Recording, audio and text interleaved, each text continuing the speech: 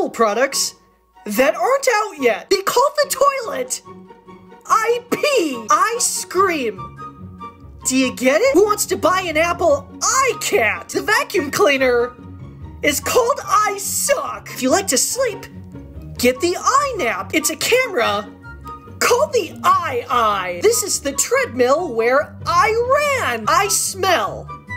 Well, I hope you smell good. Binoculars called the Eye Spy. It's an eye patch.